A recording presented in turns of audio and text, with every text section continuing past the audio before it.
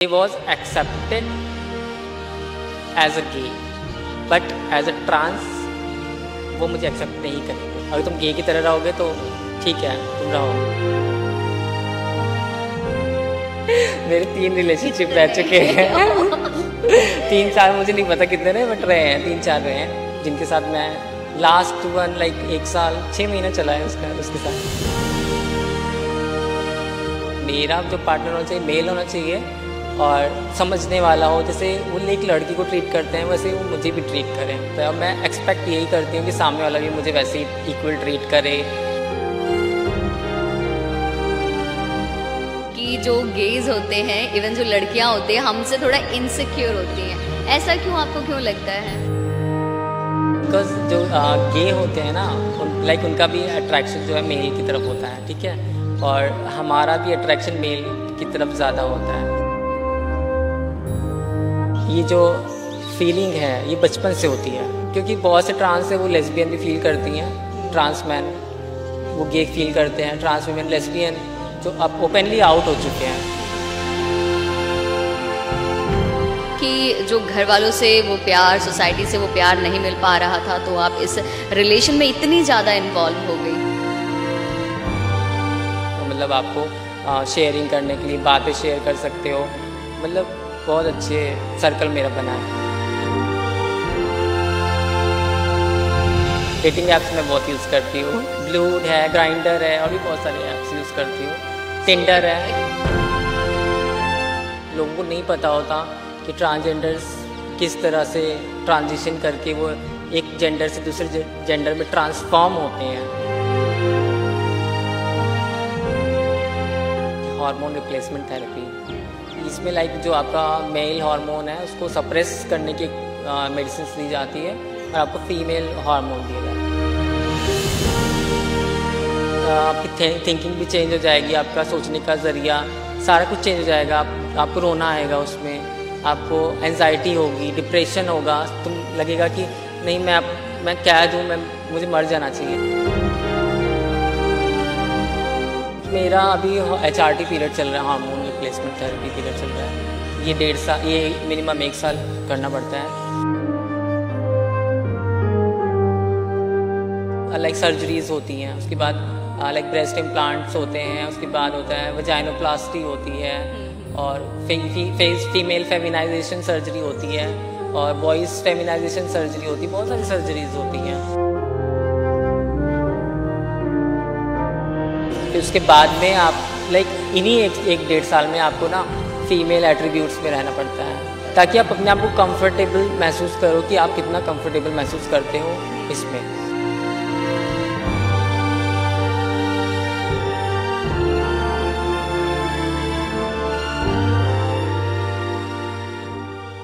जब भी हम ट्रांस की बात करते हैं तो हम हमेशा बात करते हैं सोसाइटी की एजुकेशन की अवेयरनेस की।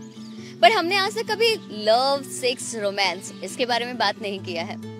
तो ये मैं नहीं कह रही हूँ ये मेरे साथ यशिका जो है ट्रांस वुमेन है इनका मानना है कि we should talk about it हमें इसके बारे में बात करनी चाहिए क्योंकि जितनी ही एजुकेशन अवेयरनेस ज़रूरी है उतना ही लव सेक्स रोमांस भी ज़रूरी है। तो यशिका हमारे साथ मौजूद है। हाय यशिका। हेलो नमस्ते। Hi Sanjana. Hi Sanjana MP से आई हुई है यशिका की दोस्त हैं। तो यशिका जैसे कि आपने मुझे कहा था कि आप आउट ऑफ़ द बॉक्स बात करना चाहती हैं आज। तो आपने बोला कि लव सेक्स रोमांस है ना? तो इसी से शुरू करते हैं। यशिका आपको कब पता चला कि ये आपका अट्रैक्शन है? लाइक मतलब आप किसी की तरफ़ आकर्षित हो रही हैं। Um, ये क्लास फिफ्थ की बात है। जब मैं मेरा एक फ्रेंड था उत्कर्ष तो मैं उसकी तरफ़ अट्रैक्ट होती थी। अब वो भी मुझे मेरा केयर करता था। लाइक साथ में लंच बॉक्स शेयर करते थे साथ में बैठते थे। एंड सिर्फ़ इतना ही नहीं he was like kissing on my cheeks वो मेरी चिक्स पे किस भी करता था। तो वो फीलिंग मुझे वो मुझे अच्छा लगता था कि हाँ ही केयर्स मी और कब जब वो स्कूल नहीं आता था तो मुझे बड़ा अच्छा नहीं लगता था। कि यार मेरा मन नहीं लग रहा है। तो फिर तो फिर मैं अभी फिर आ, उसको कॉल करके बात करके फिर कह रहे थे कि एक साथ स्कूल जाते हैं। वो चीज़ था। बट यशिका यहाँ पे एक पॉइंट है लाइक आप आपने कहा कि ये आपको बात जैसे अभी हमारी बात हो रही थी यू सेड कि कुछ ही टाइम पहले आपको पता चलता है कि आप आप जो हैं फिजिकली वो आप फिजिकली नहीं हैं। मतलब आप लड़के के शरीर में थे आपको एहसास होता है कि आप फीमेल हैं। पर उससे पहले ही आपकी लव स्टोरी क्रिएट हो गई है। हाँ। एंड दैट पर्सन जो सामने वाला है। एक्चुअली मेरी लव स्टोरी बचपन से स्टार्ट थी। और लाइक लव रिलेशनशिप्स मेरे लिए बहुत ही ज़्यादा लाइक खुद को एक्सप्लोर करने में बहुत ज़्यादा हेल्पफुल भी रहा है कि अपनी आइडेंटिटी और अपनी सेक्सुअलिटी को जानने के लिए भी बहुत ज़्यादा हेल्पफुल रहा है। और रिलेशनशिप्स की बात करूँ crush crush class like class fifth से स्टार्ट हो गया था क्रश होना। लाइक बॉयज़ की तरफ़ मेरे को क्रश होता था। और क्लास फिफ्थ से स्टार्ट था। सिक्स सेवन्थ एट्थ में भी हुआ है मुझे क्रश उसके बाद क्लास टेंथ में मेरा लाइक रिलेशनशिप बना था। वो भी डिस्टेंस लॉन्ग डिस्टेंस रिलेशनशिप अच्छा एक आपको फिर से मैं लाइक रिपीट कर रही हूँ आपको कब पता चला कि नॉर्मल हर कोई यही जानना चाहेगा? कि आपको कब पता चला कि आप एक गलत शरीर में हैं? और तब आपने फीमेल अवतार मतलब आपने प्रोसेस ऑपरेट करवाया? एक्चुअली um, ये जो फीलिंग है ये बचपन से होती है। बट आगे जाके, क्योंकि बच्चे को पता नहीं होता जेंडर उसको वो चीज़ अच्छी लगती है जो वो करना चाहती है। उसको अगर कपड़े लड़की की तरह पहनना अच्छा लगता है तो वो वैसे ही करता है। क्योंकि बच्चे जेंडर नहीं जानते, उसको तो वो जो अच्छा लग रहा है गुड्डा गुड्डी वो अच्छा लगता है। तो वो चीज़ें मैं करती थी। बाद में जब मुझे पता चला, ये क्लास ट्वेल्थ के आसपास, क्योंकि उस वक्त मुझे लगता था मेरा एक साल ड्रॉप भी हुआ इसके चक्कर में रिलेशनशिप के चक्कर में। क्यों ऐसा क्या कर दिया लाइक एक्चुअली ना मेरी मम्मा का डेथ हो गया था 2009 में।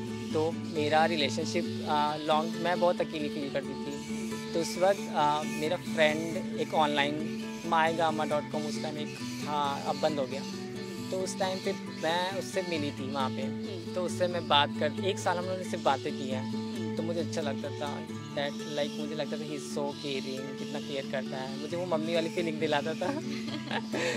सो so, तो वो चीज़ मुझे अच्छी लगती थी।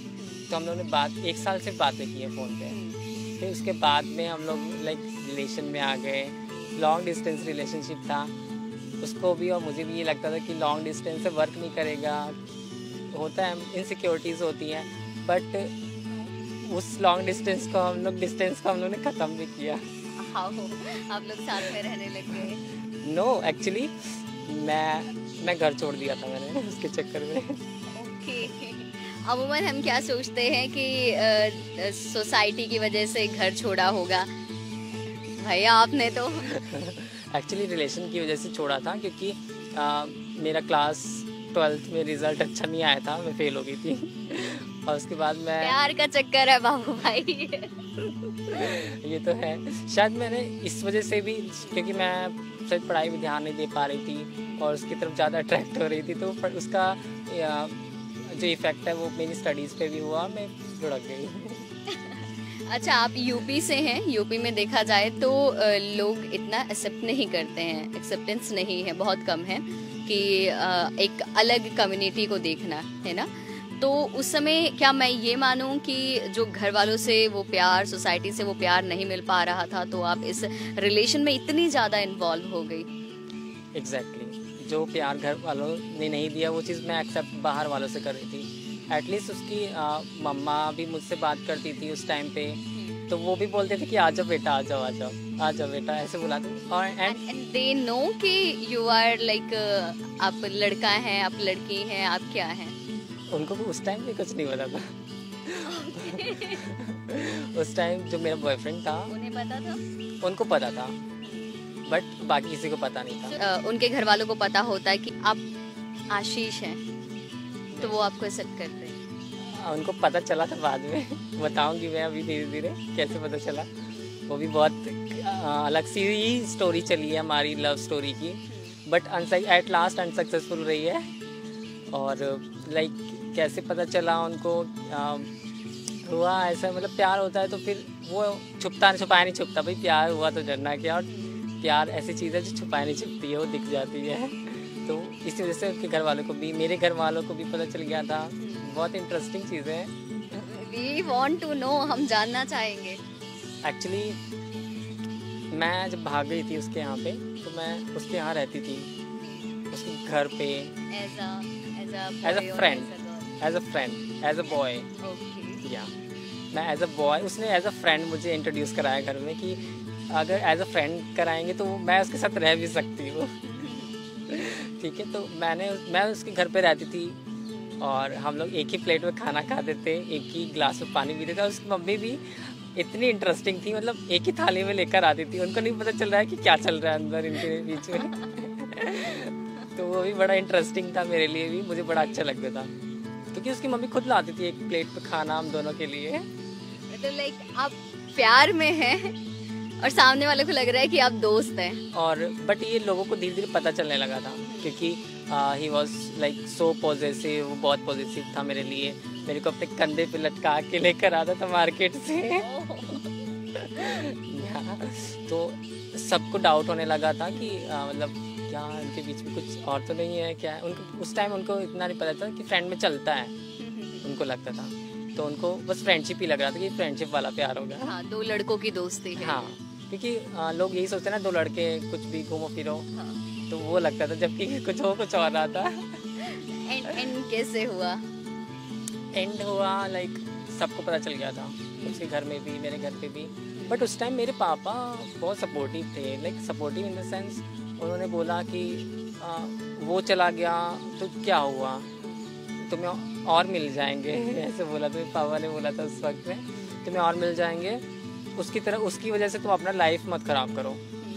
तो मेरे लिए वो चीज़ बहुत बड़ी चीज़ थी कि पापा ऐसा बोलते हैं। हाँ।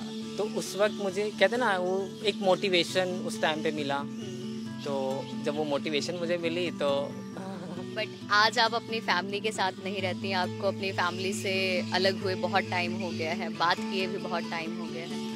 आ, इसका मेन रीज़न मैं बताऊँ सिंपल वर्ड में they was accepted as a gay but as a trans वो मुझे एक्सेप्ट नहीं करेंगे। उन्होंने क्लियर कर दिया है ये चीज़ क्लियर कर दिया था। अगर तुम गे की तरह रहोगे तो ठीक है तुम रहो। नहीं क्यों? क्या कारण? मतलब आप कह रही हैं कि गे की तरह वो एक्सेप्ट करेंगे बट एज अ ट्रांस नहीं। उनका रीज़न ये है कि ना मैं फिर वैसे अपना लुक वैसे ही रखूँगी और उनको मतलब सोसाइटी की नज़र में आप लड़का ही रहेंगी। हाँ लड़का ही रहेंगी और मेरे पापा ऐसे बोलते क्या अच्छा तुम भी हिजड़ा बन जाओगे क्या किन्नर बन जाओगे क्या? ऐसे बोलते थे। बट उनको ये नहीं पता ना कि प्रॉपर क्या प्रोसेस है क्या ट्रीटमेंट है तो वो इसकी वजह से वो बोलते थे। उन्होंने बोला कि अगर तुम लड़कों की तरह ऐसे गे की तरह रहोगे तो ठीक है एक्सेप्ट करेंगे बट अगर तुम लड़की की तरह रहोगे तो फिर हम मुँह दिखाने लायक नहीं रहेंगे तो ये चीज़। है अभी आपने हम जब बात कर रहे थे आपने बोला कि मेरी एक वीडियो जो कि उन्होंने देखी थी गाँव वालों ने देखी थी उसके बाद वहाँ पे एक तांडव सा हुआ। हाँ अभी ये रिसेंटली अभी कुछ दिन पहले की बात है। मेरे मामा के लड़के से मेरी बात हुई थी तो उन्होंने उसने ये बोला कि मुझे तुम्हारी वीडियो चाचा जी ने मतलब दिखाई है। तो मैंने तो मुझे मैं शौक हो गई मेरी वीडियो कहाँ से मैंने तो शेयर नहीं की। तो ऑब्वियसली यूट्यूब पे है तो सब यूट्यूब चलाते हैं आज आजकल तो सोशल मीडिया हर कोई यूज़ करता है। तब जाके आ, उन्होंने कहा ये देखो ये क्या हो गया इसको? गाँव वाले बोल रहे हैं कि इसको कुछ भी बीमारी हो गई है। कुछ किसी ने भूत भूत भूत लग गया है या किसी ने कुछ करा दिया है ऐसे बोलने लगे थे। अरे तो इतना अच्छा था इसको क्या हो गया है? कुछ बीमारी हो गई कि लाओ झाड़ा फूका करवाएँ। झाड़ा फूका करवाएँ कि भाई क्या हो गया। तो मैंने तो वो चीज़ उन्होंने बोली थी। ये चीज़ शॉकिंग था मेरे लिए। मैं ये पूछना चाहूँगी कि जैसे अभी हम बात कर रहे थे यू सेट की जो गेज होते हैं इवन जो लड़कियाँ होती हैं हमसे थोड़ा इनसिक्योर होती हैं। ऐसा क्यों आपको क्यों लगता है? बिकॉज़ uh, जो गे uh, होते हैं ना उन लाइक like उनका भी अट्रैक्शन जो है मेल की तरफ़ होता है ठीक है? और हमारा भी अट्रैक्शन मेल की तरफ़ ज़्यादा होता है। तो उनको इनसिक्योरिटी ये इसलिए फील होती है कि कहीं उसका ब्रेकअप ना हो जाए और हमसे मतलब पैचअप ना हो जाए। यहाँ पे हमसे रिलेशनशिप ना स्टार्ट हो जाए। तो उनको ये इनसिक्योरिटी होती है और वो कभी अपने बॉयफ्रेंड को नहीं मिलाते। और और गर्ल्स में? गर्ल्स uh, में लाइक like, uh, उनको ये इनसिक्योर फील होता है ना कि आ, बंदा चुप चुप के व्हाट्सएप पे बातें करेगा।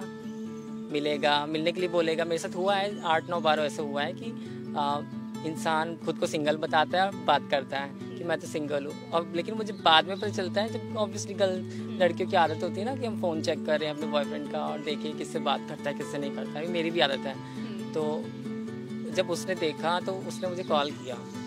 कॉल करने के बाद में मुझसे पूछती है मैम आप मतलब आप कौन है? आप ये आठ नौ बार हो चुका है। आप कौन है? मैं कहती मैं यशिका हूँ। आप ट्रांस है। मैंने कहा हाँ ओके। आपकी इनसे कब से बात होती है? क्यों बात होती है? तो मैंने कहा मेरी इनसे इन्होंने तो मुझे डेटिंग ऐप पे मिले थे मुझे। डेटिंग ऐप्स मैं बहुत यूज़ करती हूँ। कौन सा? लाइक बहुत सारे हैं। ओके क्यूपिड है और ब्लूड है ग्राइंडर है और भी बहुत सारे ऐप्स यूज़ करती हूँ। टिंडर है। कैसे जब आप डेटिंग एप्स यूज़ करते हैं व्हाट यू फील मतलब पर्सन्स आप चाहते ही हैं कोई अट्रैक्शन कि बस कोई मिल जाए जिससे हम नॉर्मली टॉक कर सकें? ऑब्वियसली क्योंकि हम ये चाहते हैं ना कि जिससे हम बात कर सकें अपनी फीलिंग्स शेयर कर सकें हो सके कोई रिलेशनशिप बन जाए। सो so, इसलिए मतलब मैं डेटिंग ऐप्स यूज़ करती हूँ। ऐसा नहीं बहुत अच्छे लोग भी मुझे उसमें बहुत अच्छे अच्छे लोग मिले हैं। इंडी इवन इंडिया से नहीं इंडिया के बाहर अब्रॉड से भी बहुत मतलब आपको शेयरिंग करने के लिए बातें शेयर कर सकते हो।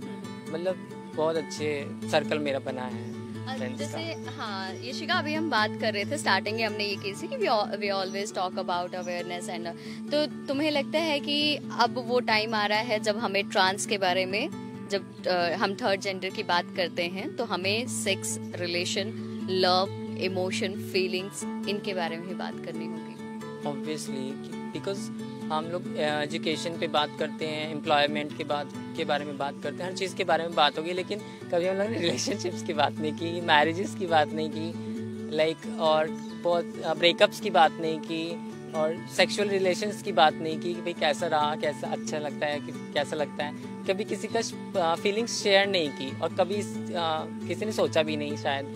एंड आई थिंक ये पहला है और मैं बहुत एक्साइटेड हूँ कि इस पर भी बात होनी चाहिए। ज़रूर हम इस पे बात कर रहे हैं। इनफैक्ट मैं भी बहुत क्यूरियस थी इस टॉपिक पे बात करने के लिए स्पेशली आपके साथ।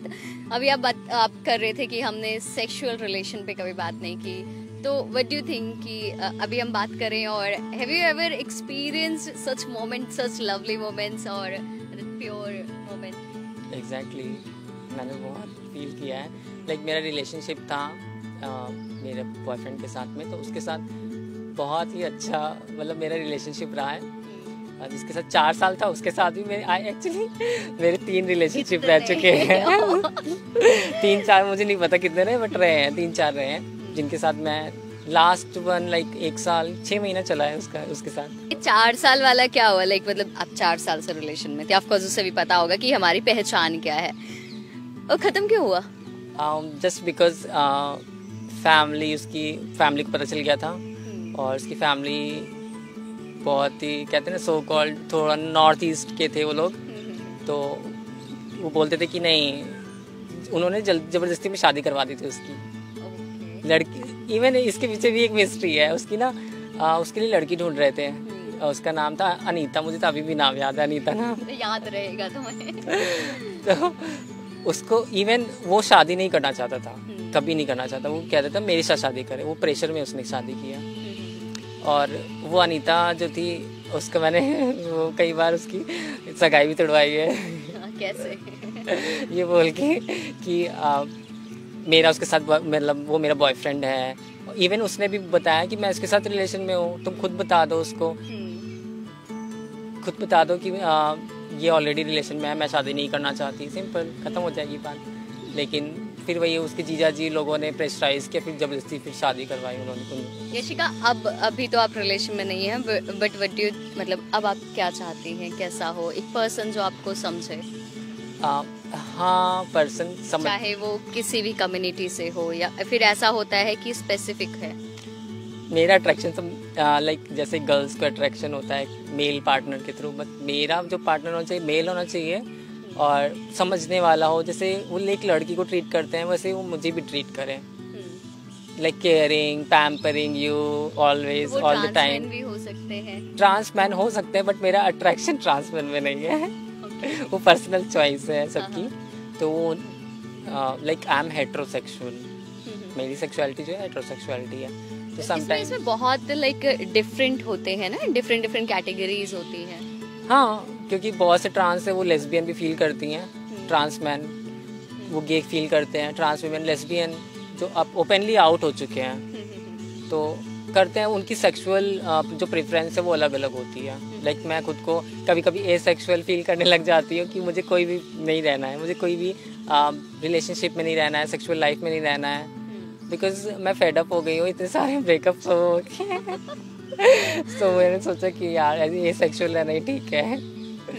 सो बट मेरा जो अट्रैक्शन है वो मेल्स की तरफ़ है। और मैं एक्सपेक्ट यही करती हूँ कि सामने वाला भी मुझे वैसे ही इक्वल ट्रीट करे और वैसे ही पैम्परिंग करे, मेरा केयर करे और टाइम दे एक दूसरे को डेटिंग पे जाए कैंडल लाइट डिनर हो और आउटिंग करें, घूमे, फिर एक दूसरे को जाने और फिर फर्दर आगे रिलेशनशिप बढ़ाए यशिका, जब हम आपको कॉल कर रहे थे, आपने बताया कि आप किसी वर्कशॉप में हैं।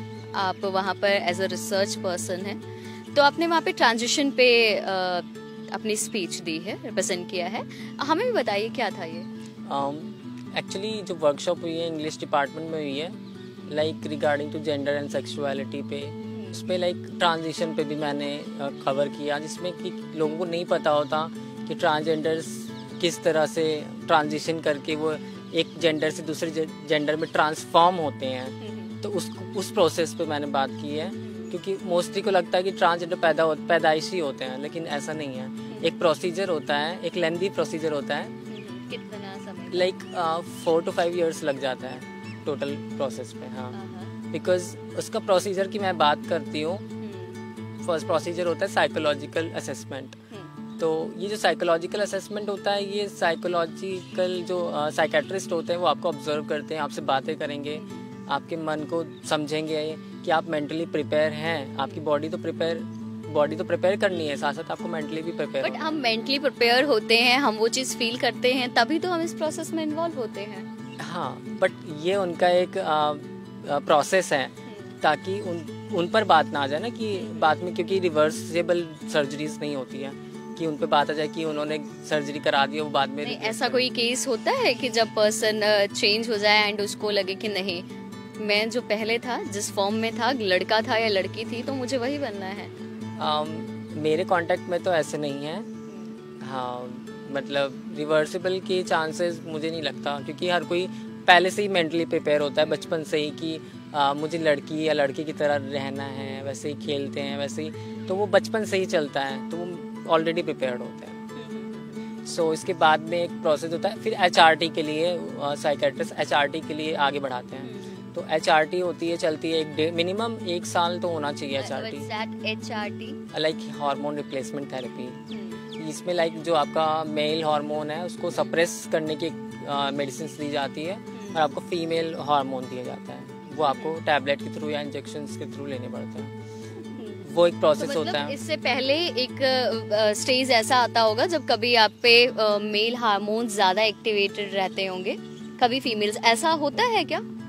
नहीं एक्चुअली ऐसा नहीं होता क्योंकि हम लोग एक टैबलेट खाते हैं ना जो मेल हार्मोन को सप्रेस कर देता है बिल्कुल बंद खत्म कर देता है। तो वो जब फीमेल हार्मोन्स अंदर एंटर होता है तो डॉक्टर यही बोलते हैं इसमें बिल्कुल काम पे ध्यान देना मतलब माइंड को डाइवर्ट करने की कोशिश करना क्योंकि ना आपको बहुत ज़्यादा एनजाइटी होगी रोना आएगा लड़की वाली हरकतें सारी होंगी आपके साथ रोना आएगा तो लड़की वाली हरकतें। लाइक मतलब आप वो आपकी जो पुरानी लाइक पहले आपकी थिंकिंग भी चेंज हो जाएगी आपका सोचने का ज़रिया सारा कुछ चेंज हो जाएगा आप, आपको रोना आएगा उसमें आपको एनजाइटी होगी डिप्रेशन होगा तुम लगेगा कि नहीं मैं आप मैं कैद हूँ मैं मुझे मर जाना चाहिए ऐसा ऐसी फीलिंग आती है। इतना ऐसा फील होता है। ऐसी फीलिंग आती है।